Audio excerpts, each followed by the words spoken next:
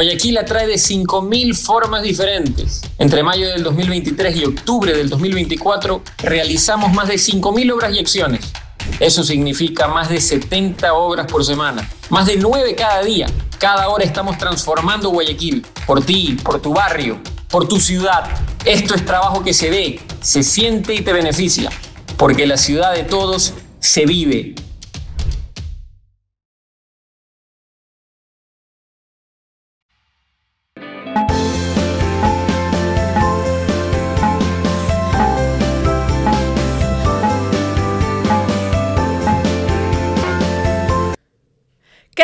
¿Cómo están? Y bienvenidos a Ingo.es. Muchas gracias por conectarse hoy por tercera ocasión conmigo.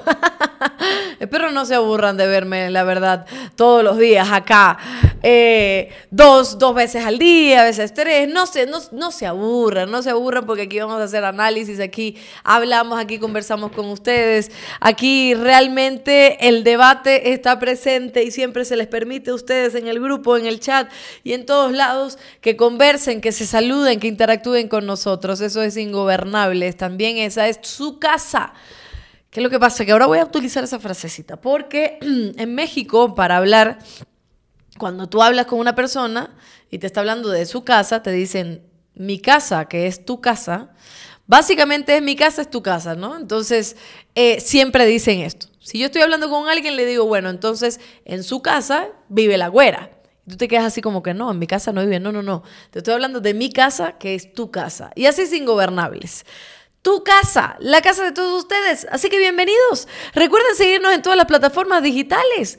Recuerden además poner el like, porque en una casa hay que mantenerla, señores. Entonces, el like es importantísimo. Recuerden además que en este mantenimiento del hogar también eh, nos pueden aportar en el super chat. En el super chat, ahí en la caja de comentarios, hay un símbolo de dólar y ahí nos pueden dar a través de calcomanías, a través de algún comentario, nos pueden aportar en el super chat. Pero además tenemos nuestras membresías como siempre, aparecen en pantalla para que eh, usted sea parte y que mensualmente nos pueda apoyar.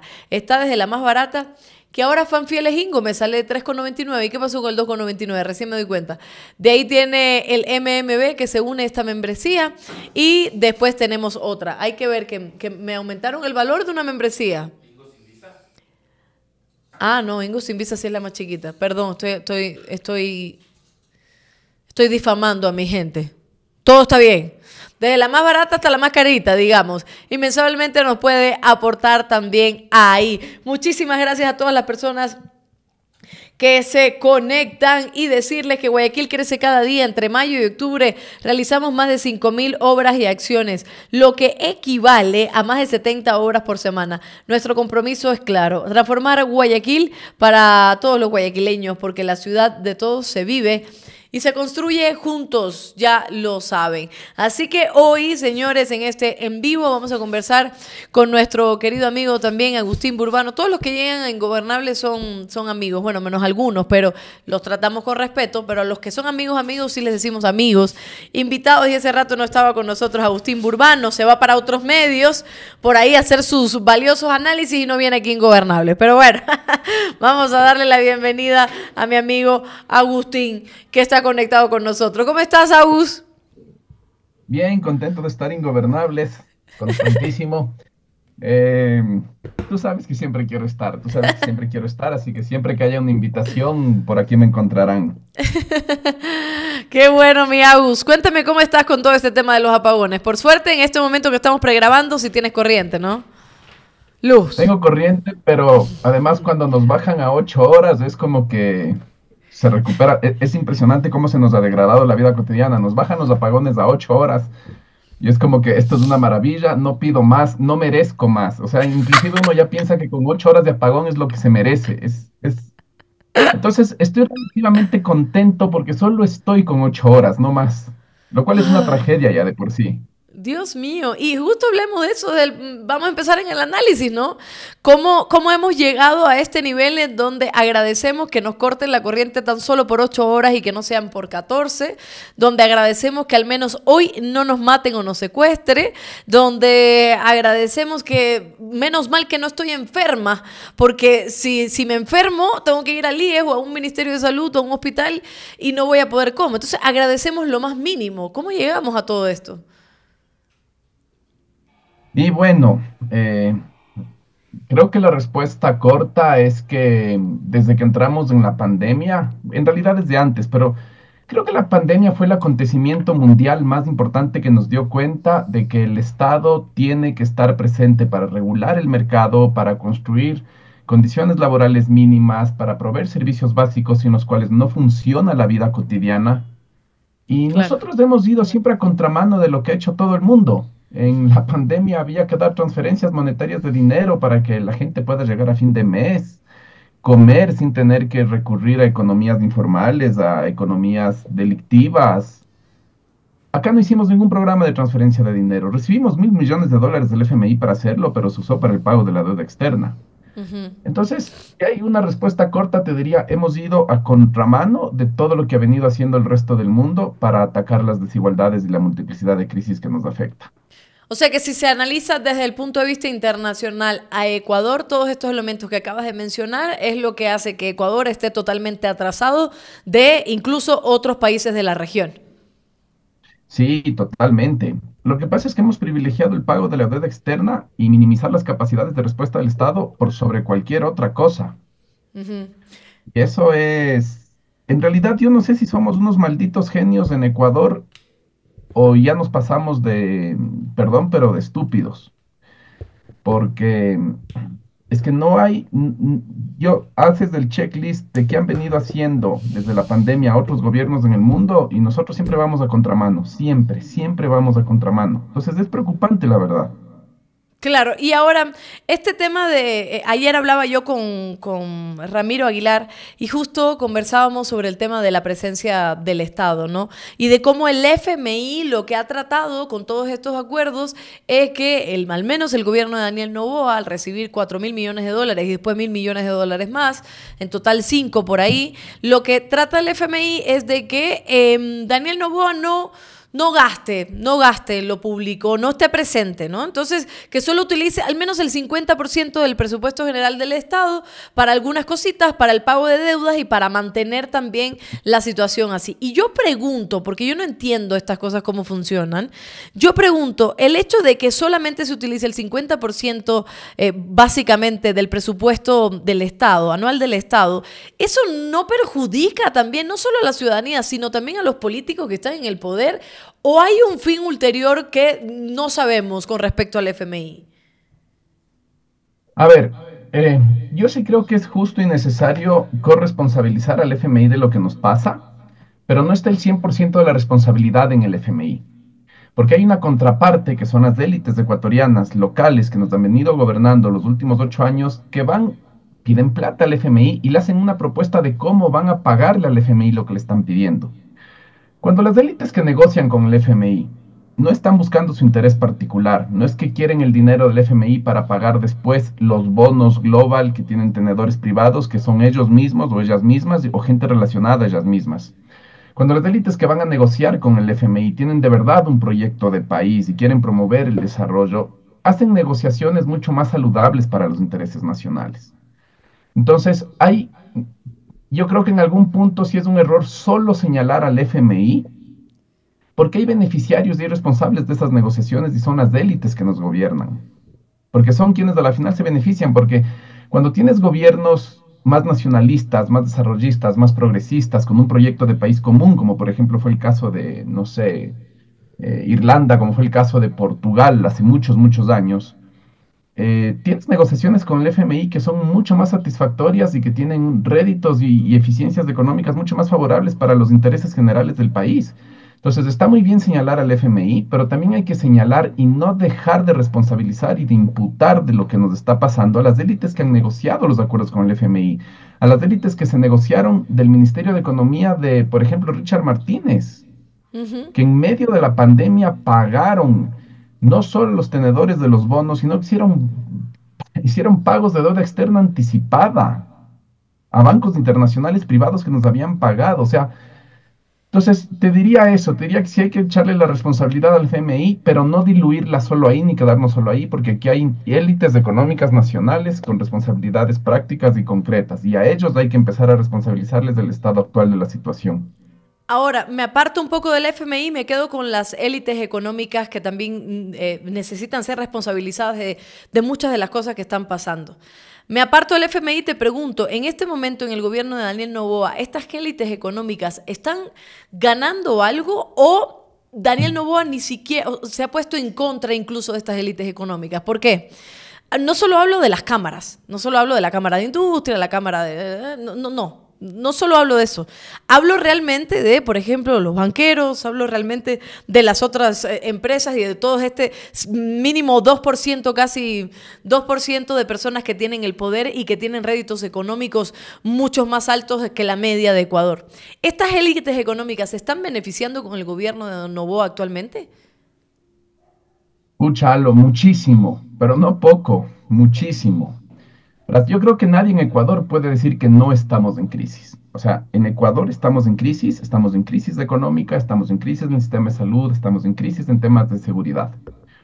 Cuando hay una crisis, uno esperaría que los grandes grupos económicos, como todos estamos perdiendo, también pierdan. Sabes, entre octubre del 2023 y octubre del 2024, estos son cálculos que ya hizo con la fuente de una base de datos de la Superintendencia de Bancos. Jonathan Baez hizo la estimación eh, hasta octubre del 2023, los ingresos de los bancos privados grandes fueron de 3.922 millones de dólares. Hasta octubre del 2024, entre enero y octubre del 2024, esos ingresos ya van a 4.454 millones de dólares. ¿Cómo puede ser posible que todos estemos perdiendo, que se esté despidiendo gente? Que estemos guardados por los apagones, que no haya inversión en las capacidades estatales, que no se siga reponiendo ni siquiera las capacidades básicas que necesita la policía para operar. Y los bancos hagan más dinero que el año anterior. Entonces también en algún punto tenemos que pensar, quizás estamos perdiendo y quizás estamos en crisis porque están predominando los intereses de quienes están ganando en medio de esta crisis. Porque cuando veo que los bancos están ganando 500, tienen ingresos de 500 millones de dólares adicionales de los que tuvieron hasta este mismo mes del año anterior, entonces no es que todos estamos perdiendo, alguien está ganando. Y ahí sí cabe la pregunta, ¿estamos perdiendo porque otros están ganando? Y eso es lo que nos está faltando politizar en la ciudadanía. No estamos así por designio divino, no estamos así por cosas del destino, no estamos así por conjunciones específicas de los astros. Estamos así perdiendo porque algunos están ganando y las formas en las que están ganando nos están sometiendo en este, en este país que yo lamentablemente estoy cansado de decirlo, pero es una fábrica cotidiana que produce sufrimiento, es una fábrica cotidiana de sufrimiento a escala industrial. Es brutal las experiencias de sufrimiento que produce este país. Pero no es solo es los bancos. Siguiendo la misma publicación del Jonathan Baez, vas a ver que en el IES en el IES entre 2023 y 2024, tomando el periodo interanual agosto-agosto, lo que más ha crecido es el número de personas afiliadas voluntariamente al IES. O sea, se caen las personas que están en relación de dependencia, pero suben las personas que aportan al IES en régimen voluntario. ¿Eso qué es? Esas son las personas que pasan al cuentapropismo o que pasan a un sistema informal de economía y quieren seguir teniendo cierta protección de la seguridad social. Entonces, es, es en realidad es brutal, es brutal porque sí duele, sí duele, sí duele que sigamos defendiendo a un régimen social de acumulación, a una experiencia económica desde el lugar de los perdedores, porque si es que las personas que desde las clases medias o los sectores populares estarían defendiendo a lo que nos está pasando y lo hacen porque están ganando, yo entendería la racionalidad de esa decisión. Pero si solo por una motivación, por un, por una inculcación del odio, que, yo creo que hasta que no logremos desactivar el odio, si, es, si solo por el odio estás feliz y satisfecho con lo que nos está pasando, entonces, la verdad no, no, sé por dónde podría venir el futuro para este país. Sí, y, escucho frustración y además entiendo esta frustración. Voy a, a dejar un momentito para después el desactivar el odio, porque mm, hay esta frase que utilizan mucho los liberales de el mercado se regula solo, ¿no? Eh, pero no voy a hablar de mercado, te pregunto, ¿cómo el Estado se puede regular? Cuando tú me estás diciendo que estamos perdiendo porque otros están ganando, que los bancos están ganando miles y miles y millones, que hay otros sectores que están ganando mucho más y que hay otros que están mucho más empobrecidos, que hay gente que se está afiliando voluntariamente porque no hay una relación de dependencia, porque ya no hay trabajo, porque hay despidos y de hecho con la crisis energética, a pesar de que Ivonne Núñez dice que no, que a ella no le ha llegado ninguna información de que hay despidos, sí lo ha habido y hay un registro también de despidos. Te pregunto, ¿cómo se puede regular esa parte del Estado? ¿Cómo se puede regular para que el Estado tenga la presencia que necesita tener en estos componentes importantes de la sociedad? Ya, lo que pasa es que aquí hay algo que a todos los liberales, excepto contados liberales de este país, porque en este país liberales estrictos, pucha, yo conozco tres o cuatro, no conozco más. Y un liberal estricto es alguien que entiende la importancia de separar el poder económico del poder político. ¿Ya? Eso en este país se rompió desde el gobierno de Lenin Moreno. Entonces, cuando tú ya no tienes autonomía entre el poder económico y el poder político, lo que pasa es que el poder económico empieza a tomar las decisiones vinculantes para toda la sociedad sin ninguna mediación, sin ningún debate, sin ningún proceso de deliberación, las impone. Las impone de facto. Y es lo que nos viene pasando desde el gobierno de Lenin Moreno. Ahora, ¿Qué hay que hacer para reponer desde el Estado la capacidad regulatoria? Primero, reponer esta autonomía, esta separación entre el poder económico y el poder político que no existe. Que no existe, porque nosotros desde el gobierno Lenin Moreno vamos viendo las puertas giratorias entre los gerentes de las asociaciones de bancos privados del Ecuador que van a distintas carteras del Estado, de las cámaras que van a distintas carteras del Estado, del sector bananero que van a distintas carteras del Estado, del sector florícola, etcétera. Entonces, a, lo que voy, primero tenemos que tener otra vez al frente del gobierno nacional un proyecto político que tenga una relativa autonomía respecto a los poderes económicos. Y ahí sí pones a gente en la superintendencia de bancos, en la superintendencia de compañías, en el Banco Central, en el SRI, que va a tomar decisiones no en favor de quienes le pagaban el sueldo antes y que le van a retribuir económicamente luego que salgan del gobierno por los favores que les hizo, sino gente que va a pensar en las grandes mayorías. A mí me llama la atención como siempre, por ejemplo, que pensa, o sea, siempre estamos hablando, cuando hablamos de la violencia, hablamos de los choneros, hablamos de los lobos, de los tiguerones. Nunca hay en el espacio público una reflexión sobre cómo las reformas de Richard Martínez de mediados del 2018 facilitaron el ingreso del dinero, de las economías clandestinas y de los flujos ilícitos de dinero en el sistema bancario.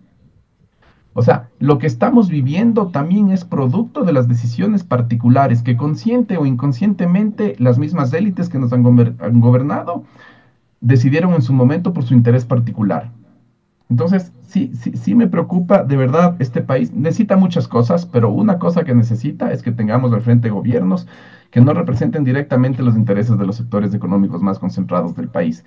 La, la primera y la última vez que eso ocurrió, desde nuestro retorno a la democracia hasta nuestros días, los dos únicos periodos que eso, que eso ocurrió fue el gobierno de Jaime Roldós y el gobierno de Rafael Correa durante la Revolución Ciudadana. Son los dos únicos periodos gubernamentales en los cuales el poder político y el poder económico se separaron.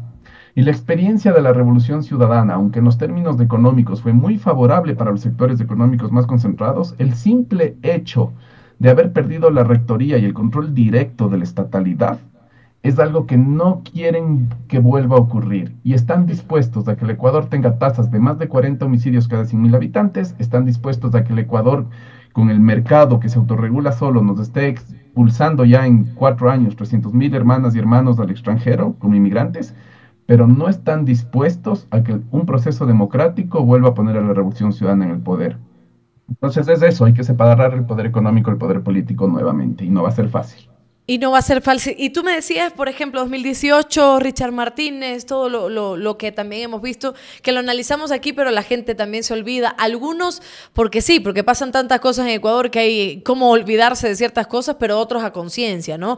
Otros sabiendo selectivamente que hay que olvidarse de lo que hizo Richard Martínez, de lo que hizo Lenín Moreno y lo que han hecho los siguientes gobiernos. Por ejemplo, cuando tú me mencionas el tema del el dinero clandestino que ingresa de los grupos de delincuencia organizada, del narcotráfico, dónde se lava el dinero también, por ejemplo, en bancos como el de Guayaquil, en donde las fortunas de sus gerentes, directores y dueños también se van incrementando mientras otros se van precarizando, eh, lo que estamos viendo también es que ha surgido una nueva economía también en Ecuador, ¿no? Que ya no tiene casi nada que ver con la eh, que se supone debe existir por parte del Estado. La nueva economía estatal es a través del narco, ¿no? No solo con los grupos de delincuencia organizada, sino cómo se está lavando dinero en el país, pero también cómo sale la droga a otros lados. Y ayer leíamos el artículo de The Economist que ya casi la moneda de cambio en muchos sectores, en muchos barrios, es la cocaína. O sea que ya casi no van con dinero. O sea, es la cocaína la moneda de cambio. Digamos que esto también influye muchísimo en cómo cambian la lógica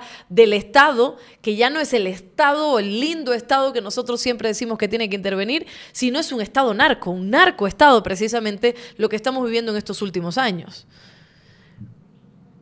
Sí, ahí te diría, bueno, hay varias cosas de líneas para la reflexión, pero lo primero que te diría es, ahorita estamos en la situación con el narcotráfico, en la situación más compleja de la que podríamos estar.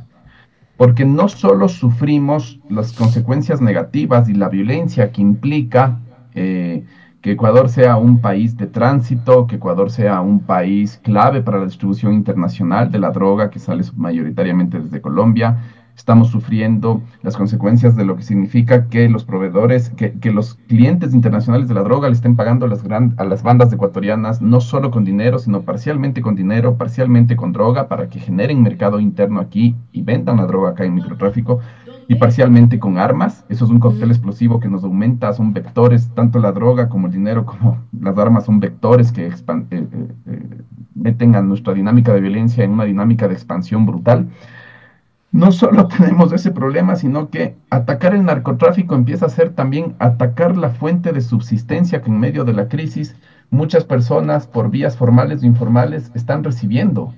Porque acá también pasa eso, todo el mundo quiere que se ataque el narcotráfico, pero nadie quiere que se ataque la participación que uno o una está teniendo directo o indirectamente en el narcotráfico.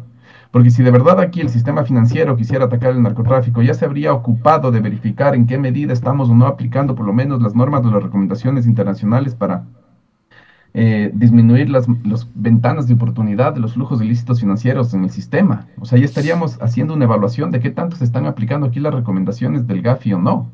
Entonces sí tenemos una postura ambigua, una postura de doble moral, un doble discurso, porque todo el mundo ataca el narcotráfico, pero el rato que hay que, todo el mundo quiere que se ataque el narcotráfico, pero cuando hay que tomar medidas específicas para dejar de participar de la renta del narcotráfico, ahí sí nadie quiere.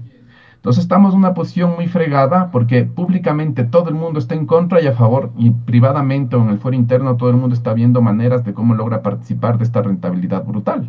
Entonces, el debate tiene que sincerarse y tiene que sincerarse desde las élites.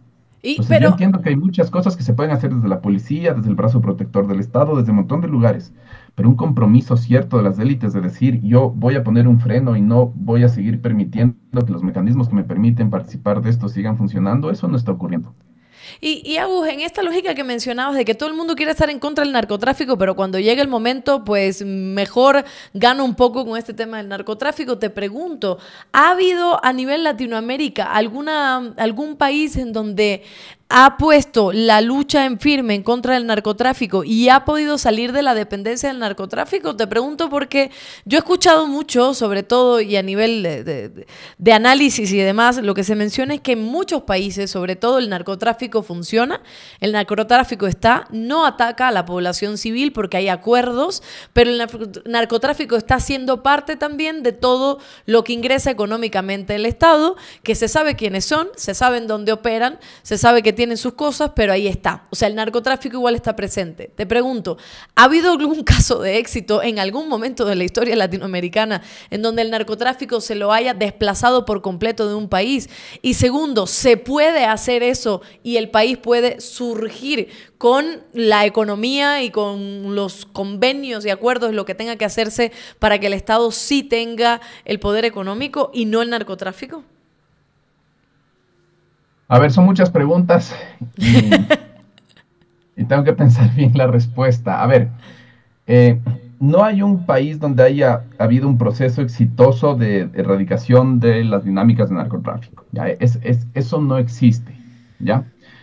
Lo que sí ha existido son, sobre todo a nivel local, experiencias muy satisfactorias de pacificación, de reconstrucción de los lazos de convivencia social y de disminución de los repertorios violentos que muchas veces están incentivados por la droga, que cuando la droga llega sería la base material de la vida cotidiana para muchos territorios urbanos marginales delegados, relegados. Es decir, lo que te estoy diciendo es, América Latina es una región que desde hace 40 o más años ha convivido con el narcotráfico y no hay evidencia histórica para decir que vamos a dejar de convivir con el narcotráfico en las décadas futuras.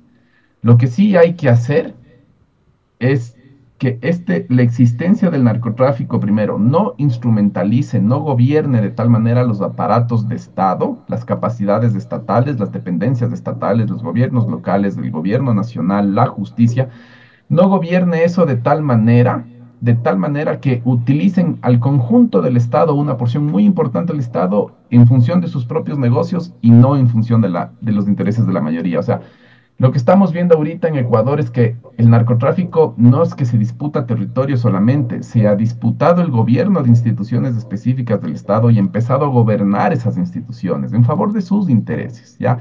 Ese es el drama que tenemos ahorita y eso sí hay cómo erradicar y eso hay que erradicar. La otra cosa que te iba a decir sobre esto es que lamentablemente lo que se ha visto en América Latina es que hay enclaves o hay países o hay ciudades que están muy afectadas por dinámicas de narcotráfico y lo que han hecho es tratar de reconducir esos dineros con, eh, con, políticas regulatorias justamente del mercado para procesos de desarrollo local. Generalmente, generalmente son procesos de desarrollo inmobiliario, pero no solamente eso. ¿ya? Entonces, cuando un país ya está afectado por estas dinámicas de narcotráfico, este nivel, lo que se busca es que por lo menos el dinero, la ganancia, sirva para procesos de desarrollo local. Ahí hay experiencias en México, hay experiencias en Colombia, hay experiencias en Rosario, en Argentina, hay experiencias que ni siquiera son pensadas por un ente público, sino que son cosas que emergen ahí sí por, son cosas que se van construyendo. Eh, yo no sé y hay que hacer un estudio de análisis de flujos para ver si el dinero del narcotráfico que ingresa a Ecuador se está quedando en Ecuador o como un montón de otros procesos de acumulación económica que ocurren aquí, nuestras élites están sacando ese dinero afuera, que sería además el peor escenario de todos. Ahora, lo último que te voy a decir para tener esta reflexión es que para poder cambiar las reglas de juego se necesita un Estado que de verdad sea autónomo o relativamente autónomo al narcotráfico.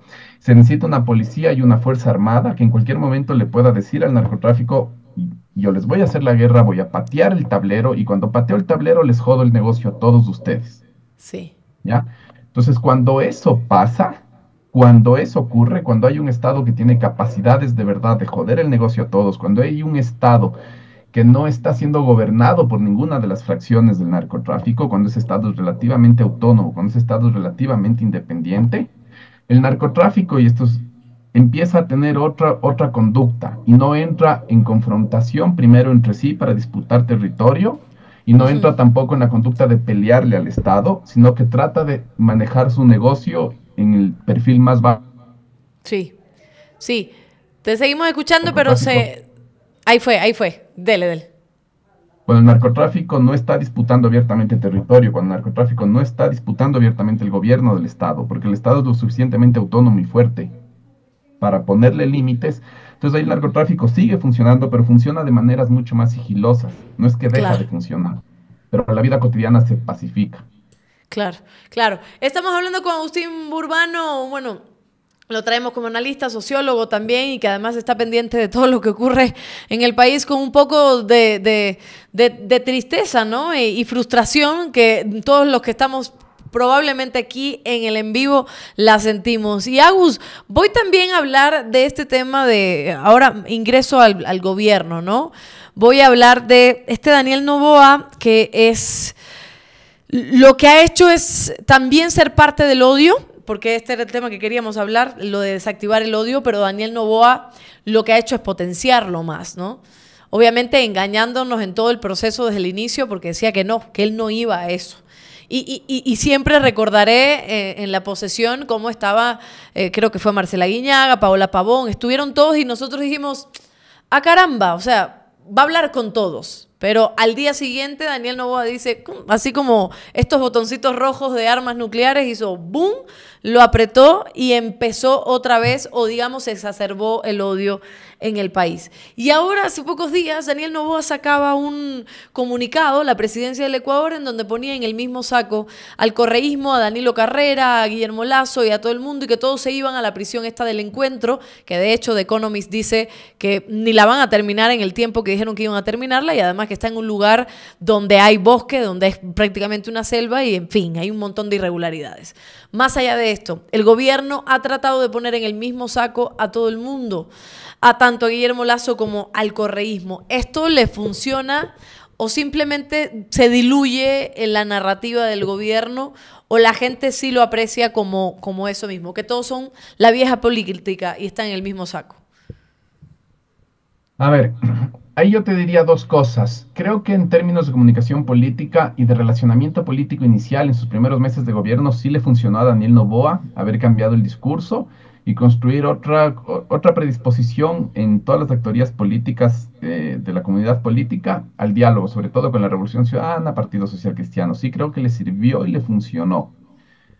Em, creo que empieza a recurrir al odio eh, ya a inicios de este año y para empezar a conversar por qué recurre al odio, tenemos que diseminar un poco más qué es esto del odio, porque no es simplemente una pasión de que yo le detesto a esta persona o esta identidad política y le odio y quiero que se muera. ¿ya? El odio en política empieza a ocurrir cuando una de las partes empieza a practicar o empieza a desarrollar estrategias o acciones antidemocráticas para relacionarse con el otro. ¿ya? Porque el Partido Social Cristiano o ADN o Construye o quien sea pueden tener profundas diferencias y conflictos profundísimos con la revolución ciudadana. Pero si estas diferencias y estos conflictos se trabajan por mecanismos democráticos y su relacionamiento con la revolución ciudadana solo está, o con la CONAIE solo estaría atravesado por conductas y comportamientos institucionales y que obedezcan a la ley, ahí no estamos hablando de odio, ahí estamos hablando de conflicto y de disputa política. Mm. El problema es cuando la revolución ciudadana o, a la CONAIE, pero mayoritariamente a la revolución ciudadana, le empiezas a tirar Policía Nacional, Dirección General de Inteligencia, Fiscalía General del Estado, Contraloría General del Estado, Ministerio de Relaciones Exteriores para todas las cosas del Interpol, le empiezas a tirar superintendencias, le empiezas a tirar al Ministerio, o sea, empiezas a tirarle todo un dispositivo de persecución estatal a través del cual estás dándole un tratamiento a tu opositor político no democrático, no institucional, sino totalmente antidemocrático.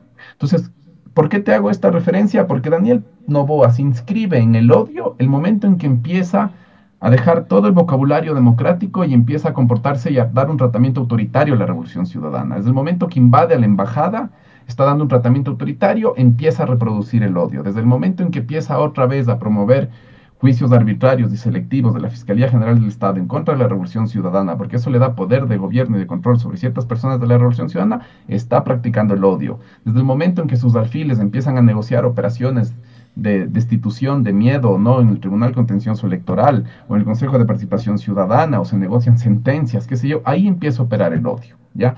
Entonces, cuando nos referimos al odio, te hago, esta, hago esto porque no es que en, el país está polarizado y está partido en dos o en tres bandos y de esos tres bandos dos nos odiamos. No, es que, es que no se trata de eso, se trata de que hay un bando que está utilizando mecanismos antidemocráticos para tratar al otro. Y en la medida en que esos mecanismos antidemocráticos se aproximen más a la violencia, no solo que estamos fortaleciendo el autoritarismo de Estado que ya venimos viviendo hace mucho tiempo, sino que nos empezamos, empezamos ya yo me da miedo, no, no, me gusta utilizar esta palabra tan a la ligera, pero cada vez más nos vamos acercando al fascismo.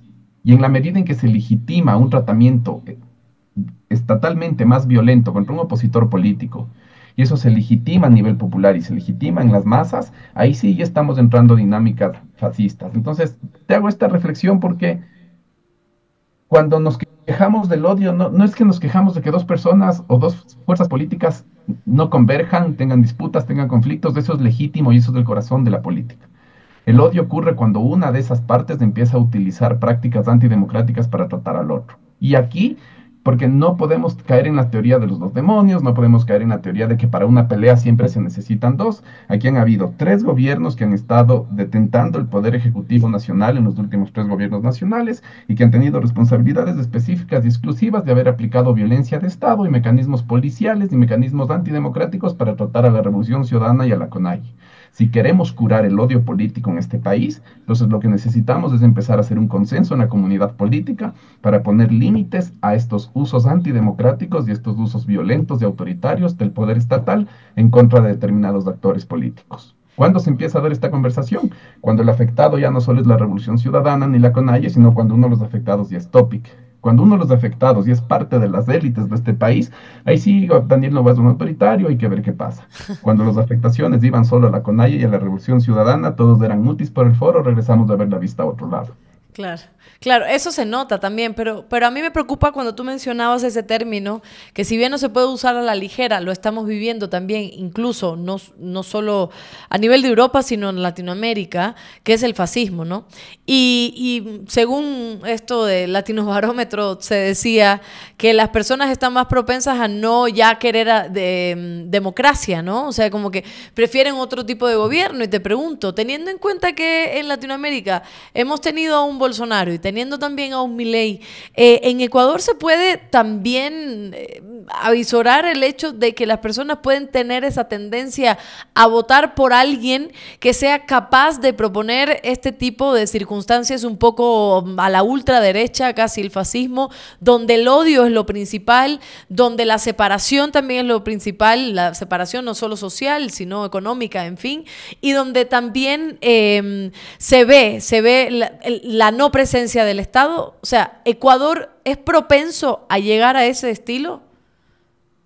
En elementos para que algo de ese tipo sea fértil, sí hay.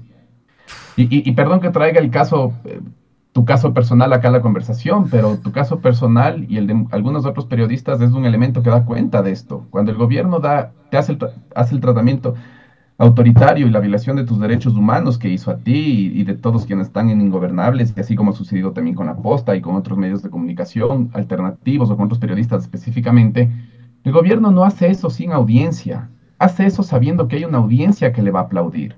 O sea, si hay que pensar que cuando el gobierno hace violaciones de derechos humanos o empieza a ejercer prácticas violentas, autoritarias contra medios de comunicación, lo hace porque hay alguien en la audiencia que le va a celebrar y se va a parar a aplaudir y le va a secundar y le va a sostener y le va a soportar.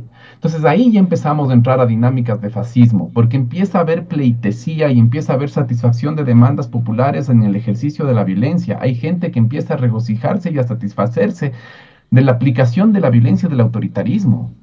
Y esto no es algo que ocurre de la nada, no es que la gente espontáneamente decide eso, sino como hemos visto en los chats de Villavicencio, hay poderes económicos y hay redes comunicacionales que están operando esto que están trabajando en esto, que están, están creando esto, están fabricando esto. No es que el odio nos sale de la nada de nuestros corazones, sino que nos inscriben mensajes, nos cuentan noticias falsas, empiezan a hacer asesinatos de la reputación de alguien y la gente tiene tanta bronca por motivaciones falsas y mal informadas adentro, que cuando empiezan a haber ejercicios públicos de violencia, linchamientos mediáticos, linchamientos físicos, lo que sea, la gente se regocija, siente que se le sublima un deseo de venganza y de justicia interna y se empieza a dar vivas y aplausos a la violación de los derechos humanos, a los autoritarismos y todo. Lamentablemente, tal como estamos en Ecuador, hay condiciones para que en sectores amplios de la población, clases medias, clases altas, sectores populares, este ejercicio de la, de la violencia y de la política sea aplaudido. Entonces, lamentablemente sí hay elementos aquí para que un ejercicio fascista pueda, ser, pueda tener tierra fértil. Y ahora, solo que esto cierro, en algún punto eso es lo que se refleja en la votación de Jan Topic. Porque Jan Topic lo que termina sublimando es esa pulsión de la ciudadanía por agarrar una metralleta y matarlos a todos los que puedan significar una amenaza para tu vida cotidiana en este contexto de inseguridad.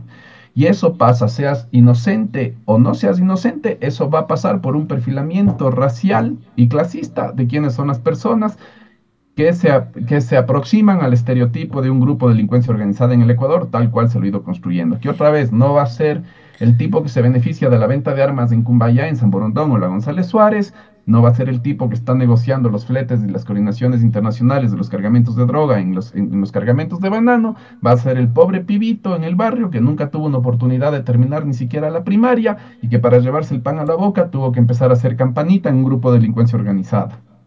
Entonces, Lamentablemente condiciones fértiles para el fascismo hay.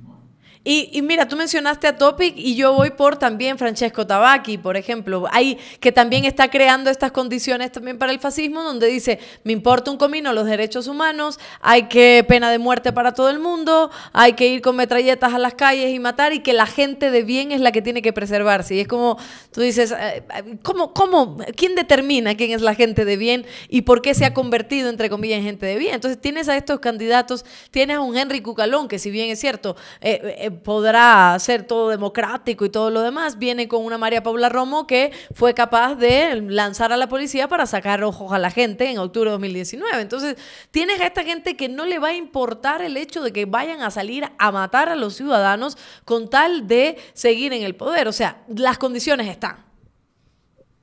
Las condiciones están. Eh, está tratando de llenar el vacío de Topic.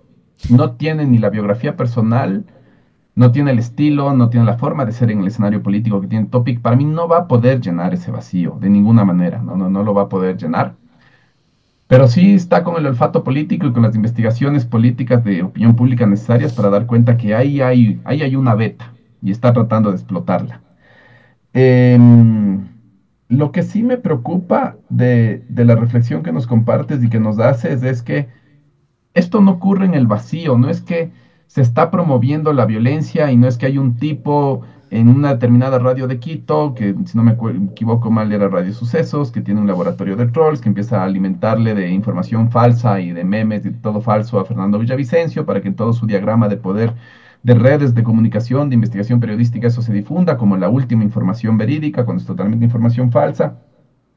Lo que me preocupa es que no es que hacen eso en el vacío, no es del odio por el odio, es otra vez ir a la misma, a la primera pregunta. ¿Por qué hay gente que defiende este estado de crisis económica? ¿Por qué los bancos defienden este estado de crisis económica? Porque están ganando más dinero. ¿Por qué hay gente que defiende esta situación del odio? Porque están ganando. ¿Quiénes están ganando del odio? Los que no quieren que regrese un gobierno nacional democrático popular al gobierno, a, definir, a tomar las decisiones vinculantes para el país. Esos son los que están ganando. Entonces, hay una economía política detrás del odio y hay gente que está ganando y está lucrando detrás del odio. E, y eso es lo que tenemos que entender. No es el odio por el odio y tenemos que ir todos a confesarnos a la misa y que el cura nos dé la absolución, rezar 10 Ave Marías, 10 Padre Nuestros y vamos a tener el corazón puro para relacionarnos con nosotros. Hay gente que para defender sus intereses económicos va a seguir promoviendo el odio en la sociedad. Y el odio para ellos significa que un gobierno nacional democrático y popular no vuelva a Carondelet. ¿Qué tenemos que hacer desde las fuerzas democráticas, de izquierda, progresistas, del centro, de la centro derecha, que sí tenemos a la democracia como un valor? Ver quién de nosotros y nosotras está en capacidad de llegar de mejor manera a Carondelet, ver qué promesas necesitamos que ese que está en la mejor capacidad, que es la revolución ciudadana, nos puede hacer para tener nuestra confianza y para que su proyecto político nos convoque, nos abrigue y, defienda también nuestros intereses particulares, tener un plan conjunto, tener una negociación política e impulsarlo al gobierno. Pero ese comportamiento cooperativo no estamos teniendo. Pedro Granja estaba, ya está desaparecido, pero estaba por ahí sacando sus votos. Lamentablemente, Leonidas Diza le va a sacar votos de la Revolución Ciudadana. No digo que no tenga derecho a participar. A mí me habría encantado que Leonidas Diza sea el presidente de esta Asamblea Nacional. Me, me habría encantado que sea el primer candidato a Asamblea Nacional y que presida la Asamblea Nacional pero me habría encantado. Pero ahorita tenemos un comportamiento y una dinámica competitiva mutuamente destructiva entre la CONAI y la Revolución Ciudadana. Entonces, eh, el Partido Socialista por su lado, otras fuerzas democráticas por su lado. Entonces, a veces creo que no estamos entendiendo ni siquiera hasta qué nivel estamos siendo funcionales de esta situación. Claro. ¿No funcionó la, unión de las izquierdas? Perdón, pero más ha hecho la saca eh, la proscripción de topic del sistema político ha ayudado más a las posibilidades de la revolución ciudadana de ganar las elecciones que el proceso de conversación con las izquierdas. Lo cual es paradójico y dice muchísimo de nuestra capacidad actual de hacer política, que es muy limitada. Sí, pero también dice mucho de, todo este um, sentido de, de, oposición, que no es una oposición, digamos, democrática como debe ser, a ver, como soñamos, ¿no? No es como debe ser porque no lo he visto yo, pero no hay un proceso de oposición democrática en ese sentido, porque lo que estamos viendo es que, claro, a Topic lo sacan y ahí sí, lo acabas de decir tú, ahí sí, Daniel Novo es un autoritario, Daniel Novo hizo esto y hay que defender la democracia, pero todo esto le han hecho no solo a la Revolución Ciudadana, a la CONAIE y a otros partidos durante muchísimo tiempo, pero ahí la gente se queda callado. Mientras hay alguna manifestación vestiditos de blanco para apoyar a Topic, todo está bien. Mientras hay una manifestación de gente pobre para decir, coño, no tengo luz, no tengo comida, no tengo absolutamente nada, vamos a reprimirlo. Entonces, siento que también la democracia es una cuestión de élites y ya no se está volviendo una cuestión de pueblo, una cuestión de absolutamente todos. Y las élites son las que están dominando ahora todo el escenario electoral. Sí, total, total. Y sus intereses particulares los vivimos como intereses colectivos y como intereses públicos. Entonces, determinada importadora de licores o determinada importadora de ropa o determinada importadora de autos necesita que se baje el impuesto salida de divisas. Y generan los mensajes necesarios pagan a los periodistas necesarios, financian a los articulistas de opinión necesarios y después tienes al vendedor de caramelos de la esquina pensando que la disminución del impuesto a salida de, divisas le va a mejorar la economía a él. No, le va a mejorar la economía del importador de autos, no le va a mejorar la economía a usted, señor. El gobierno va a tener menos ingresos para darle salud a usted en el IES cuando necesite atenderse en, en el sistema de salud pública y el gobierno va a tener además y el país va a tener menos dinero, porque si sacamos el impuesto de salida de divisas, del dinero va a salir con mucha más fuerza al extranjero. Entonces, ahí está el tema. Hay todo un dispositivo político por el cual las élites que nos gobiernan hacen que sus intereses particulares sean vividos y experimentados como los intereses generales de toda la población. ¿Ya? Entonces, éramos el quinto mejor país en el ranking de autonomía y de capacidades energéticas hace ocho años. Ahora estamos con cortes de 14, de 14 horas diarias, llegamos a estar con cortes de 14 horas diarias y hay gente que todavía dice que el problema no es del modelo por el cual llegamos a ser el quinto mejor país, que, que, el modelo por el cual llegamos a ser el quinto mejor país es el problema. O sea, llegamos a ser el quinto mejor país del mundo en capacidades energéticas y ese modelo es el problema. Ay, se le fue la luz. Eh, sí, pero ya va. Yo sí te escucho. ¿Me escuchas a mí? Sí, te escucho. pero... Se cayó la cámara. Déjame, ya arreglo esto. Dale, Davidcito, aprovechemos mientras está eh, Agustín arreglando todo para decirle que estamos con Agustín Borbano y estamos analizando en este momento cosas de política, cosas de, sí, o sea, de lo que sucede también en el país. Y siempre hay que buscar nuevas voces para poder entenderlo, ¿no? Y estamos hablando de la élite, la élite nunca pierde, ¿no? Y esta parte última eh, que mencionaba Agustín me parece importante porque es como, claro, te dicen, no, el impuesto a la salida de Ibiza, te dicen, no, el 15% de IVA, te dicen, vamos a quitarle los aranceles a tal cosa, vamos a quitarle esto. Y, tú, y, el señor que está vendiendo cola en la calle te dice, esto me va a beneficiar. Y lo que decía Agustín, no señor, no te va a beneficiar. A los que les va a beneficiar son a los bancos que siguen lavando dinero, son a las grandes empresas, son a las cámaras, son a la gente que tiene además toda esta cantidad de dinero que no lo vas a tener tú, que no lo vas a tener tú como trabajador precarizado, como trabajador sin un seguridad social, como trabajador que además está subcontratado en fin, todas estas cuestiones que suelen suceder. Entonces, para poder entender un poco lo que te menciona la prensa, lo que te mencionan estos influencers, lo que te menciona esta cantidad de personas que están también precarizados, muchos de ellos, de hecho, que dependen del dinero del Estado y de estas élites para poder sobrevivir, pero para que ellos puedan seguir mintiéndole al pueblo y decirle a la madre de familia, la soltera, la que no tiene un centavo y la que no tiene trabajo, de que todo esto que se está haciendo a nivel político te va a ayudar, que pagar la deuda externa te va a ayudar, que seguir los acuerdos del FMI te va a ayudar. Y al final lo que seguimos viendo es que el Estado no tiene dinero, que un país no tiene dinero y que quienes son los más precarizados, pues precisamente aquellos que ya estaban precarizados, que ya estaban siendo violentados, que ya estaban en un espacio de vulnerabilidad. ¿Quiénes son los que siguen acumulando riqueza? Precisamente estas élites. Guayaquil crece cada día. Entre mayo y octubre realizamos más de 5.000 obras y acciones, lo que equivale a más de 70 horas por semana. Nuestro compromiso es claro, transformar Guayaquil para todos los guayaquileños porque la ciudad de todos se vive y se construye juntos. Ponemos el videito y volvemos con Agustín Burbano. Dale, David, see you. Guayaquil atrae de 5.000 formas diferentes. Entre mayo del 2023 y octubre del 2024 realizamos más de 5.000 obras y acciones. Eso significa más de 70 obras por semana, más de 9 cada día. Cada hora estamos transformando Guayaquil, por ti, por tu barrio, por tu ciudad. Esto es trabajo que se ve, se siente y te beneficia.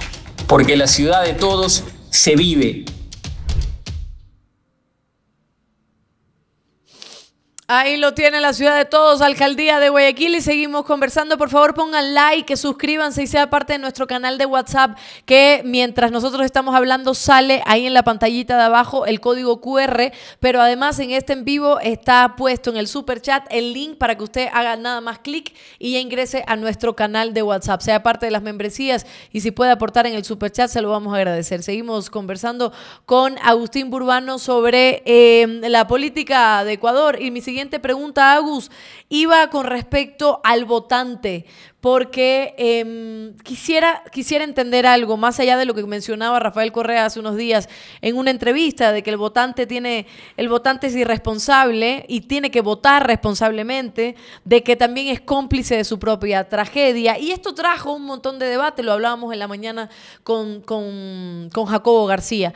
Pero yo te pregunto, ¿realmente los votantes quieren información sobre a quiénes van a votar, cuáles son sus políticas? o esta política del odio que beneficia a unos y a otros los mantiene precarizados sigue siendo lo primero para ir a votar? A ver, yo te diría dos cosas.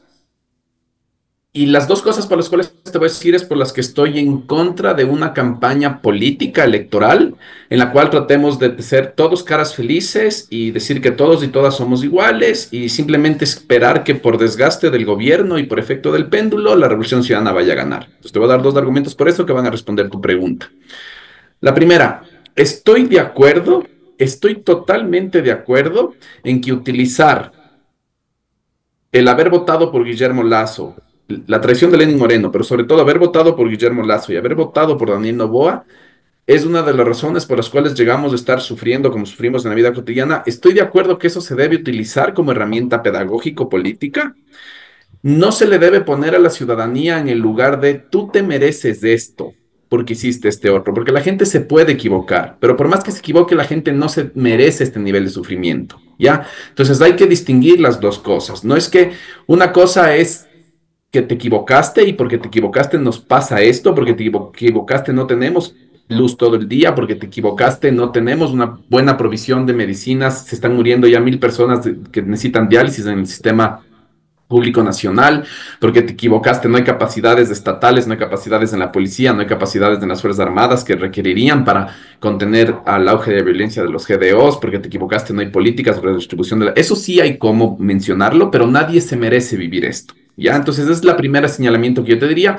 El segundo es que una campaña electoral es un momento idóneo para decirle al votante, a poblaciones específicas que viven condiciones materiales y simbólicas de, de, existencia específicas, decirle quién eres y tú quién eres, yo cómo deberías experimentar el mundo, cómo deberías hacer sentido del mundo, cómo deberías posicionarte en el mundo. Entonces tú antes dijiste una palabra clave que es hay personas trabajadoras aquí que están defendiendo los intereses de los dueños de los bancos, ¿ya? Es porque los dueños de los bancos no le dicen a esa persona tú eres trabajadora, le dicen tú eres un emprendedor. Y tú puedes ser como yo, dueño de tu propio banco. Y nosotros a veces caemos en ese mismo discurso y no nos empezamos a reconocer y a decir, no, tú no eres un emprendedor, tú eres un trabajador y eres una persona trabajadora y como persona trabajadora te mereces derechos y te mereces exigir cosas. Y como persona trabajadora, así es como entendemos el mundo las personas trabajadoras. Y cuando hacemos esto, lo que estamos haciendo es construir identidades. Cuando construimos identidades, empezamos a pertenecer colectivamente a un grupo, quiénes somos, con quiénes nos identificamos. Y cómo nos relacionamos con nuestros otros y cómo entendemos ese mundo. Y eso, esto es algo que Rafael Correa lo hizo, pero maravillosamente en el 2006. Desde el momento en que Rafael Correa dijo, no vamos a ser parte de la partidocracia y no vamos a lanzar asambleístas de la Asamblea Nacional en 2006, empezó a construir un nosotros, porque nosotros no somos la partidocracia, nosotros, no nos nosotros somos un otro distinto a los dueños de los bancos que han estado gobernando el país en los 80s y en los 90s y nos sumieron en esta crisis. Toda esta pedagogía política de ir construyendo una identidad que sea múltiple, que adentro sea heterogénea, pero que converja en grandes líneas, es algo que no estamos haciendo.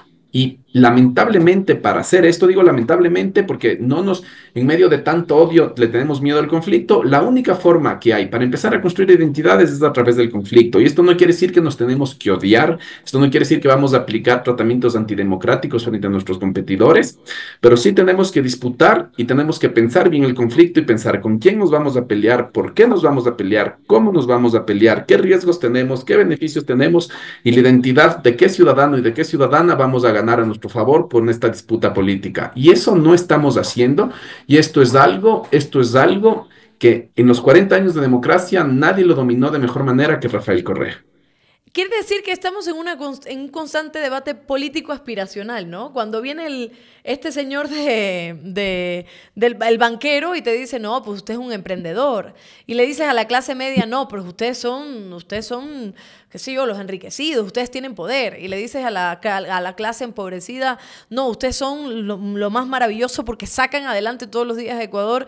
Lo que estamos viendo, este, esta clase de publicidad de clase 1.1, que es lo primero que te dicen que tienes que vender lo aspiracional. Por eso, cuando te venden una pasta de dientes, te ponen a una persona maravillosa, flaca, delgada, linda, hermosa, con los dientes perfectos, cuando tus dientes probablemente estén totalmente destruidos. Cuando te dicen la familia ecuatoriana, te ponen a la familia rubia de ojos azules pero no te ponen, qué sé yo, al mestizo, ¿no? Digamos, o al negro, o al indígena, o a todas estas eh, identidades que confluyen en Ecuador.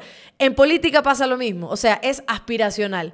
Tú eres emprendedor, entonces mientras yo soy emprendedor, voy odiando al que no lo es, al que está más por debajo, exacto, y dicen, tú no lo eres. Y por eso entonces viene la gente de bien. Y viene el quiteño de bien, el guayaquileño de bien, o sea, el ecuatoriano de bien, que se está muriendo de hambre igual, pero si le ponen en la categoría de bien, entonces ya es mucho mejor que el vecino, que está igual o peor que él, ¿no? ¿Hace cuántos años nos vienen gobernando? Con Daniel Novoa esto cambió un poco, pero ¿hace cuántos años nos vienen gobernando? Con Lenin Moreno y con Guillermo Lazo, las familias nobles y patricias de Quito, los buenos apellidos de Quito. Claro. ¿Cómo estamos? ¿Cómo estamos con su ejercicio de gobierno? O sea, es que nos gobiernan las familias blancas, patricias, de buen apellido, de buen proceder, de buen todo, que se preocupan por los adoquines de la ciudad de Quito más que por la gente que está pasando hambre y que se le están muriendo familiares y por el trabajo. Que les duele más la serenata quiteña que los 14 horas de... Nos gobierna esa familia y así, nos gobiernan todas esas familias, esos buenos apellidos esas personas de bien y dónde estamos. Pero esas cosas hay que politizarlas y no lo estamos haciendo. Es que no lo es que es, es ahí donde a mí me entra la desesperación. La política es construir identidades, la política es dar una explicación de por qué está funcionando como está funcionando el mundo y la política es enseñar a las personas de qué manera puedes actuar para que las cosas cambien y el mundo deje de funcionar de la manera en que te está generando sufrimiento. Y eso no estamos haciendo, nos estamos encasillando en una posición de que administrar lo público es una cuestión tecnocrática en la que solo hay que saber administrar lo público. Entonces tratamos de vendernos como que sabemos del tema de la hidroelectricidad, de las termoeléctricas, de manejo del sector eléctrico, que sabemos no se trata solo de saber y no nos tenemos que posicionar solo con personas que sabemos, tenemos que construir identidades y tenemos que empezar a construir un pueblo, un pueblo que es además el que nos va a defender en las calles cuando seamos gobierno y los poderes fácticos empiecen a desestabilizarnos a los seis meses. Claro. Porque si nos vendemos solo como personas que sabemos gestionar, el rato que los medios de comunicación, el rato que las eh, múltiples agencias de la doctrina hemisférica empiecen a desestabilizarnos, no vamos a tener quien se movilice por nosotros. Entonces, otra vez, hasta por una cuestión de autosustentación, de sustentabilidad del proyecto político, de un montón de cosas, tenemos que construir un pueblo y construir un pueblo. ¿Cuándo se construye un pueblo? En los periodos electorales, no son los periodos electorales, pero sí en los periodos electorales. Y, y, hacia, esa es la recomendación que yo quisiera hacer y, y quisiera decir, tenemos que construir un pueblo. Y, esto también entra en el marco de las relaciones cooperativas entre las izquierdas el centro y la centro derecha, porque no se está construyendo un pueblo. Sí. Entonces, me preocupa.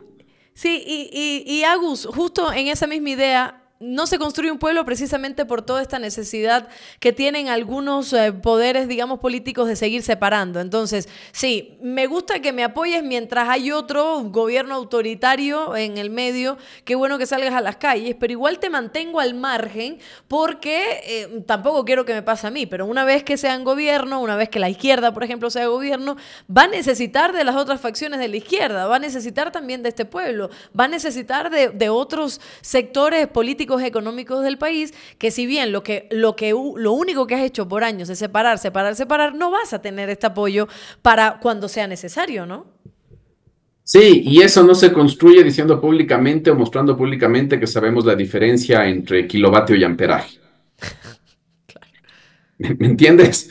Sí. Entonces, eh, eh, esa es la parte en la que me parece que todos y todas quienes queremos un régimen social de gobierno alternativo y un régimen social de acumulación alternativo, lo que estamos viviendo, es ahí donde estamos fallando. Estamos fallando en la parte política. Claro, claro. ¿Y cómo se conversa entonces con la gente en una campaña política ahora que se viene? ¿Cómo la izquierda puede conversar con las personas para poder llegar a ellas más allá de decir, yo sí conozco la diferencia de esto y yo sí te voy a dar tal solución? A ver, la primera, hay, dos vías. La primera es de perogrullo y la primera es llevándote y teniendo relaciones interpersonales con tu interlocutor o tu interlocutora. Y esto ya lo conversamos alguna vez, pero Diego Borja puede llegar a ser el vicepresidente de la Revolución Ciudadana porque tenía una relación interpersonal con Rafael Correa. Y es sobre ese afecto primario que se asienta todo lo que Diego Borja puede traer al proceso político. ¿Ya? Entonces, lo primero, ¿quieres conversar con alguien de la CONAIE? Conócete con la gente de la CONAIE, ándate, ándate, tómate una cerveza, ándate una fiesta, ándate de baile, comparte un almuerzo, invítale. Primero hay que construir relaciones interpersonales. O sea, si no hay relaciones interpersonales, no hay nada y no hay suelo efectivo sobre el cual puede emerger cualquier otra cosa. La segunda es que una vez que construyen esas relaciones interpersonales, vas a conocer a la persona, su identidad política, su proyecto político y vas a empezar a saber Primero, ¿qué necesita? ¿Qué es primordial? ¿Qué quiere de ti?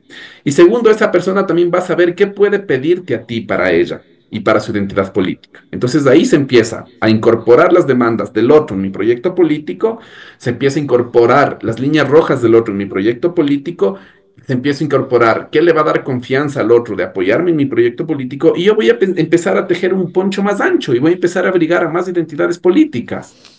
Pero si ni siquiera nos vamos a tomar cervezas, ni al fútbol, ni a hacer un almuerzo, peor vamos a estar incorporando las demandas del otro. Entonces, son estos ABCs de la política que nos está faltando a nivel práctico. Y para que esto pase, a mí me gustaría verles a los dirigentes de las, del movimiento indígena, la Revolución Ciudadana, del Frente de Salud, de, de, montón de gremios, me gustaría ver eso, que están compartiendo espacios y tiempos en la vida cotidiana. Es que empieza por ahí, no, no hay otra fórmula, no hay otra fórmula. Y, Agus, cuando em, em, estuvimos hablando de la unión de las izquierdas, que vimos también, por ejemplo, una Luisa eh, propuesta, una Andrés Arau sobre todo también, que estaba em, dispuesto, perdón, a conversar, y por otro lado veíamos a un Rafael Correa diciendo que no, que prefiere incluso hacer una conversación con la derecha. Esto todavía probablemente se mantiene, ¿no? Después, no voy a decir fracaso porque no lo fue, porque el hecho de que se sentaran en una mesa ya fue una victoria, pero más allá de eso, que no se ha logrado, realmente no se ha visto, ¿no? Un logro en esta reunión.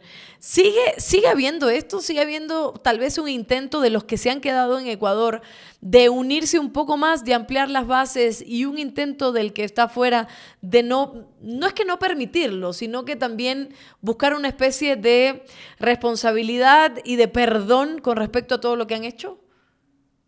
O sea, ahorita ya lo que terminó tal como terminó desenvolviéndose esa negociación y esos acercamientos, esa conversación, todos están por su estrategia individual y todos están compitiendo entre sí de manera poco cooperativa o no cooperativa. Y está habilitada o está, el, hay un acuerdo tácito o explícito, no sé en qué nivel, de, una, de un comportamiento cooperativo en segunda vuelta. Ya, eso es lo que se ha ganado con eso, que no es poco porque no tuvimos comportamiento cooperativo en segunda vuelta ni siquiera en las últimas dos elecciones. Entonces, no digo con esto que sea poco, pero sí creo que faltó autorreflexión y la primera vez que pude comunicar esta idea fue justamente en tu programa. Y digo faltó autorreflexión porque si es que soy de la Revolución Ciudadana y tengo mis derechos políticos de participación bien deteriorados, he sido el blanco de múltiples persecuciones, si soy de la CONAIE y tengo mis derechos de participación bien deteriorados y he sido blanco de múltiples persecuciones, lo primero que me voy a sentar a conversar con la Revolución Ciudadana es cómo aseguramos nuestro derecho a participar y existir como una opción política alternativa en este sistema político. El primer acuerdo que vamos a hacer es que vamos a pedir a todas las personas que se sienten en este foro y sean parte de nuestra mesa en su relacionamiento con el gobierno para que no vuelvan a ser cómplices con nuestra persecución política. Entonces, a mí me habría gustado esta conversación mucho antes de empezar a hablar del antiextractivismo, del post-extractivismo y de cómo, que me parecen debates súper importantes y sé que son el corazón de la contradicción fundamental que hay entre Revolución Ciudadana y CONAIE, pero había que empezar poniendo a los caballos por delante de las carretas. Lo primero es, queremos participar en política, no tenemos las mejores condiciones, primero vamos a construir las condiciones para participar en política. Ok. Agus, ayúdame a organizar estas ideas. Después de ayer, em, después del reportaje de The Economist, muchos eh, comunicadores, digamos, no, no, no, no solo Carlos Vera, pues en definitiva hay que dudar mucho de dónde vienen sus conocimientos, pero eh, están molestos por cómo ponen a Ecuador en el mundo, ¿no? Un narcoestado y además de que se habla de algunas ciudades que también están cooptadas por, por el narcotráfico. Ahora justo estaba leyendo mientras a, un periodista que, que de hecho es, es, muy bueno, a quien hace un trabajo maravilloso y ha hecho un trabajo en Durán, Leonardo dice, Leonardo Ponce decía, decir que Durán es capital mundial del asesinato es reducir toda su identidad a un único aspecto ignorando su compleja realidad. Crea un estereotipo que deshumaniza a sus habitantes agraviando su aislamiento. Eh, hasta las ciudades más violentas merecen respeto. Y quisiera organizar estas ideas. Primero que el The Economist no dice que es la capital, sino que se ha ganado el derecho de ser de las capitales más violentas del mundo. Porque si seguimos con las cifras que cada día, cada 19 horas hay un asesinato en Durán, pues las estadísticas hablan por sí solas, ¿no? Hechos, no relatos pero me, resulta complicado ver por dónde quieren llevar la situación. Siento que están tratando de poner al Ecuador como esta narrativa de orgullo, Ecuador, país valiente, país de paz, yo nací en este país, cuando en realidad nadie está diciendo que el país es malo, nadie está diciendo que la gente es mala, pero que hay un problema grave que es el narco y que se ha metido en el Estado. Entonces quisiera ordenar un poco estas ideas. ¿De dónde viene este digo yo, falso nacionalismo ahora y, falso corazón y amor por las ciudades, cuando lo que se está viendo que a nivel internacional hay que poner a Ecuador lamentablemente como de las ciudades más peligrosas porque el narco se está apoderando de ello. Porque el gobierno sí está construyendo identidad. Mm. esta es la tragedia. Entonces, cuando tú tienes que construir identidad y posicionarte frente a un otro, en este, en este momento, un periodista extranjero, un medio de comunicación extranjero, Créeme, es bastante neoliberal. En el plano económico es bastante neoliberal. Pero tienes que construir una identidad y un posicionamiento. Uno de los materiales muy efectivos que hay es el nacionalismo porque el nacionalismo ya tiene de por sí una, una, frontera en ellos y en nosotros. Entonces, si decimos que el autor del The Economist es un antipatria y que Durán no solo es eso y que el Ecuador es muchas cosas más, lo que estamos tratando de diluir es en el sentimiento y el afecto nacional, una problemática de la cual nosotros somos las primeras víctimas, además. O sea, el señor The Economist no está en contra de la gente de Ecuador, no está en contra de las experiencias de sufrimiento por inseguridad de la gente de Durán, está diciendo afuera, hey, aquí hay un problemón y la gente está sufriendo. Pero por operación de comunicación política, el gobierno y la estrategia de los medios de comunicación afines, que a los que les llega la transferencia de manera muy efectiva y, regular, como hemos podido ver, eh, para ellos este gesto de visibilizar nuestra realidad y nuestra experiencia de sufrimiento es un comportamiento antipatria, que curiosamente, por eso el psicoanálisis siempre dice, por lo los lacanianos dicen que el inconsciente está en la superficie, ¿no? Y es curioso porque así es como así es como realizan su ejercicio periodístico. O sea, para Carlos Vera, para periodismo de investigación, para toda esta gente. Visibilizar el sufrimiento, la vida cotidiana del ecuatoriano es un ejercicio antipatria y por eso no lo hacen. O sea, Radio Centro no visibiliza el sufrimiento, la vida cotidiana, porque para ellos es un ejercicio antipatria slash anti su cuenta de ahorros. Entonces, pero, pero es curioso porque esto que están denunciando en The Economist es, es la regla con la cual ellos viven. O sea, es, así es como está viviendo Carlos Vera últimamente, así es como está viviendo Radio Centro en Guayaquil, así es, como, así es como están viviendo todos los operadores comunicacionales del gobierno. Punto. Entonces, a mí, a mí me llama la atención, porque ahorita que converso contigo me doy cuenta hasta qué punto se delatan. Claro. Totalmente, y a mí, yo ayer lo hablaba y me molestaba porque yo entiendo que a uno, yo también, yo soy ecuatoriana, si me hayan deportado y me hayan quitado todo, pero yo también me siento ecuatoriana. Y cuando hablan de mi país de nacimiento, de Cuba, también entiendo un montón de cosas que la gente menciona, tanto desde el lado de la izquierda como del lado de la derecha.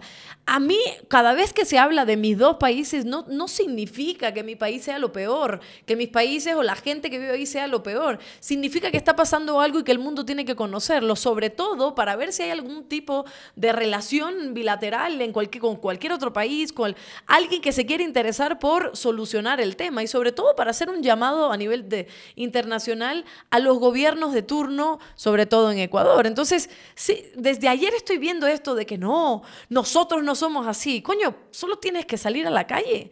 Solo tienes que verlo. Y, en este caso de Leonardo, él sí ha salido a la calle, él ha visto Durán. Yo entiendo desde el lado que lo está poniendo, pero vamos, señores, no te está diciendo no te está deshumanizando, porque no te está diciendo que todos en Durán son narcos, te está diciendo que el Estado permitió que en Durán manejara el narco, te está diciendo que eh, un lugar industrial, un lugar donde hay un montón de empresas, un lugar donde debería ser, digo yo, el lugar más importante a nivel de la costa, porque está tan pegado a Guayaquil, está costado por el narco, entonces haz algo, pero sin embargo te ponen esta narrativa que es, y, y concluyo con esto, lo mismo que hicieron con lo del himno nacional, con la canción y Alondra Santiago, es como no importa que, haya hecho una canción para decirle al gobierno de Daniel Novoa autoritario, no. Vamos a tomar el himno nacional, vamos a convertirnos en nacionalistas y en defensores de la patria para entonces seguir violentando, para deportar y para silenciar. Y lo mismo pasa con esto. No importa, no, importa lo que dice el reportaje de cómo no se ha solucionado el tema desde hace algunos años, de cómo éramos un país de paz, no hay que atacar al mensajero, hay que atacar al Economist que nos está diciendo, mira, si ven, está en contra de nuestro himno, de nuestro cóndor y de nuestro todo. Entonces, esta falsedad es la que siento que molesta y que es parte de, esta activación del odio que, que, cada día se está haciendo, se está generando, ¿no? Sí, en parte también es, y puedo entender la reacción de Leonardo, pero en parte es porque esta reflexión que tú nos haces no es una reflexión que se ha hecho de manera colectiva, porque yo no he visto, yo he visto muchas iniciativas de medios de comunicación y de periodistas metiéndose en el tema de la violencia. He visto algunas iniciativas para proteger los derechos humanos de las personas que empiezan a ser blanco de violencia. Aquí también ha habido selectividades, porque no todo periodista ha sido beneficiario de las iniciativas para defensa cuando un periodista o cualquier persona que esté en medios de comunicación es blanco de violencia. Pero sí nos está faltando una reflexión colectiva sobre cómo, cuáles son los, los normamientos, las normas éticas o los lineamientos éticos con los cuales vamos a cubrir la violencia. Y sí puedo ver en las palabras de Leonardo un miedo a todos los defectos negativos que la, la estigmatización y la reificación, la cosificación, la unilateralización de la violencia como el único rasgo descriptivo del poblador o del habitante de Durán se quede en la retina y en la memoria, y eso lo puedo ver. Pero eso no es culpa del señor de The Economist que está diciendo aquí hay una experiencia de sufrimiento y de injusticia. eso no es culpa del señor de The Economist. Sí creo que el gremio periodístico tiene que hacer una reflexión sobre cómo va a dar cobertura a la violencia para minimizar los impactos no deseados de su propio ejercicio de comunicación en la misma dinámica de violencia, para no profundizar efectos o aspectos negativos con el propio ejercicio comunicativo. Y eso es una reflexión que se tiene que dar. Y eso es un ejercicio político que se tiene que dar dentro del gremio de la, de la misma comunicación. Claro. Pero, pero ahí no hay nada que el señor del Economist pueda hacer, decir o dejar de hacer o de decir que vaya a cambiar esa realidad. Claro.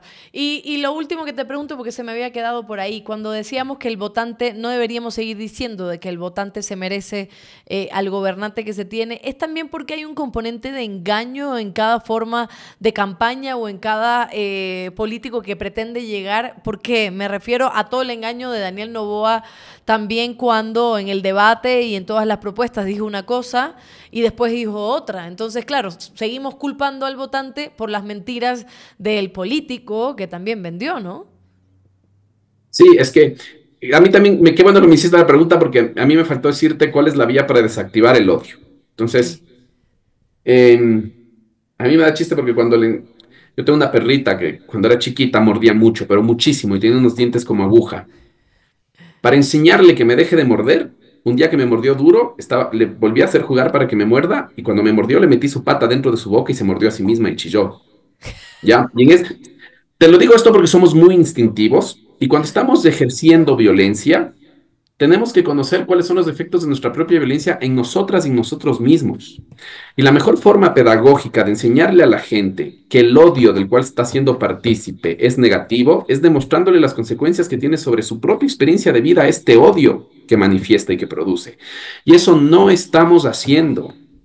Y eso lamentablemente no estamos haciendo.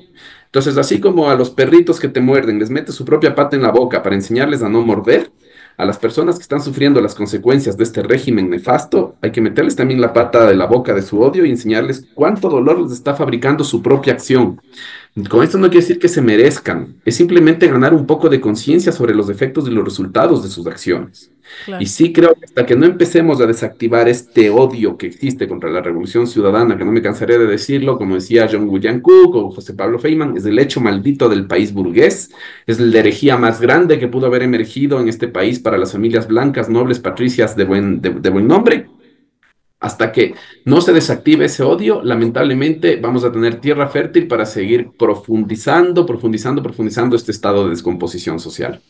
Así es, así que nada, ya lo sabemos y nosotros también tenemos que tomar esas decisiones. A la güerita eh, le voy a hacer lo mismo porque también anda de mordelona y, le voy a hacer lo mismo a ver si aprende. Mi Agus, te queremos mucho y muchas gracias por estar aquí en Ingobernables. A lo que gusto estar. Ojalá algún rato les pueda dar un abrazo, un saludo para ti, para Tupi, para todos quienes están. Que México les guarde siempre bien. Y bueno, acá siempre también pendientes de cuando puedan cambiar las condiciones políticas de este país para también tenerlos de vuelta. Claro que sí, el Tupi te manda saludo que está pendiente aquí de la grabación. Chao. Ahí está Agustín Burbano con nosotros. Excelente, excelente estos análisis. Siempre me encanta analizar estos temas, ¿saben por qué? Porque cada analista dice una cosa diferente, ¿no? Tiene otras formas de decir las cosas y siempre hay algo nuevo, siempre hay algo nuevo que aprender. Por eso yo anoto, para mí Ingobernables es una forma de estar en una clase constante, porque no solo aprendo de los que están conectados conmigo y me están diciendo las cosas que están pasando, no solo aprendo de las realidades que se está viviendo en Ecuador, pero aprendo también de aquel que viene, aquel que incluso no estemos de acuerdo mucho, pero también se aprende. Por eso siempre digo que a pesar de que no traigamos a la gente que les gusta a ustedes, que están ahí conectados, siempre hay que aprender de ellos. No estoy diciendo de que eh, nos estén diciendo cosas maravillosas aquellos que no nos gusta escuchar, pero aprender qué están pensando, por dónde van, qué es lo que quieren, para entonces poder, a través de esa enseñanza que nos están llevando a ese territorio, poder entender cómo se hace la contra, ¿no? Cómo se hace la buena contra, ¿no? Cómo se hace el debate, cómo se hace el análisis. Y eso es importantísimo, por eso aquí en Gobernables siempre traemos el análisis, el debate, las entrevistas y todo para ustedes aquí en ingo.es. Espero que se hayan suscrito. Espero que se hayan suscrito. Porque si no me equivoco, y lo voy a tener aquí, si no me equivoco, yo creo que para el... ¡Uh! Estamos grabando, en este momento estamos grabando el en vivo, o sea, va a salir en la noche, y tenemos 170.952. Quiere decir que probablemente en el horario de la tarde y en e, cuando salga este en vivo ya llegaremos a los 171 mil seguidores, suscriptores. ¿Qué dices? ¿Ya está? Señores, ojalá podamos llegar hasta fin de año a 200 mil. ¿Usted cree que es muy difícil la situación? Muy difícil. Le ponemos un tope. Mayo, 200 mil, ¿qué es esto? ¿Qué, somos? No me hagas decirte otro medio. ¿Qué, qué somos? ¿Qué? No, no, no, no. No, mayo muy lejos. 200. Mi vida, ¿sí cuánto falta para llegar a los 200 mil? Híjole, 30 mil, sí está difícil la cosa, perdonen. Que yo no, yo no soy muy buena haciendo cálculos. bueno, ya, a ver, ponemos un tope para diciembre. ¿Ciento? ¿180 mil? Diciembre estoy hablando, 31 de diciembre. Alguien está muy pesimista. Yo voy a poner 180 mil.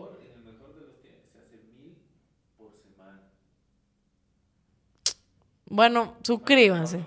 Alguien está muy pesimista. Yo digo que sí vamos a seguir con los suscriptores. Así que pilas, pilas, pilas. Suscríbase a nuestro canal para seguir creciendo y además ponga like. Y ya se hicieron, ahí está, suscribirse. Suscribirse, solo tienes que poner suscribirse, no cuesta absolutamente nada. Lo que sí te puede costar es cuando pones unirte. Desde la computadora sale unirte, tú te unes y ahí eres parte de las membresías. Si ves que yo no veo la de Ingo sin visa, me quitaron Ingo sin visa. Sí, claro que sí, es la 2,99. Ahora me sale fan fieles Ingo y me sale 3,99. Ingo sin visa me quitaron ahí. Davidcito, explícame por qué no sale Ingo sin visa que era 2,99 era la más barata y ahora me sale fan fieles Ingo en 3,99, me están perjudicando a mi pueblo y a mi gente. No puede ser así, tiene que haber la de 2,99 que es Ingo sin visa, que me la quitaron y no puede, no puede quitarse, que esa es importante. Así que vamos a ver, vamos, vamos a comportarnos correcto, porque si no, se acaba esto. ¿Ya? Así que muchísimas gracias a todas las personas por conectarse. Nos vemos mañana a las 13 horas 30 en otra programación. Eh, y también estén pendientes de la programación de la mañana. Eh, sí, la Shari la quitó. La Shari quitó, dice. Revisé en el canal y había en esas. No, pues sí había Ingo sin visa. Sí, sí, yo la vi. Hay gente que está ahí inscrita suscrita a Ingo sin visa. No, no, no, hay que poner eso. Dile a la Shari ahora mismo. Dile a la Shari ahora mismo. Em, ¿Y qué estaba diciendo? Nos vamos entonces. Mañana tenemos otra programación. Muchísimas gracias a todos los que se han conectado y han puesto like. El like es importantísimo. Y recuerde seguir toda la programación de Ingobernables. ¿Sabe cómo? A través de nuestro canal de WhatsApp que sale ahora mismo en 3, 2, 1 y sale nuestro canal de WhatsApp, pero también en este enlace hemos fijado ahí en la caja de comentarios el link para que usted haga así clic y ya se una a nuestro canal y se entere de toda la información, los videos, todo lo que tenemos para ustedes. Recuerden que Guayaquil crece cada día, señores. Entre mayo y octubre realizaron ya más de 5.000 obras y acciones, lo que equivale a más de 70 obras por semana. Nuestro compromiso es clarísimo, transformar Guayaquil para todos los guayaquileños, porque la ciudad de todos se vive y se construye juntos. Nos vemos mañana, 13 horas 30. Chao, gracias. Guayaquil atrae de 5.000 formas diferentes. Entre mayo del 2023 y octubre del 2024 realizamos más de 5.000 obras y acciones eso significa más de 70 obras por semana, más de 9 cada día. Cada hora estamos transformando Guayaquil, por ti, por tu barrio, por tu ciudad. Esto es trabajo que se ve, se siente y te beneficia, porque la ciudad de todos se vive